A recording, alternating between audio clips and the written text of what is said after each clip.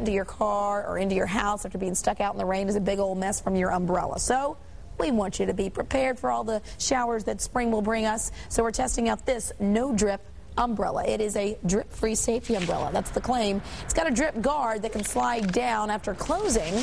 It's supposed to prevent the water from dripping onto your clothes or the floor.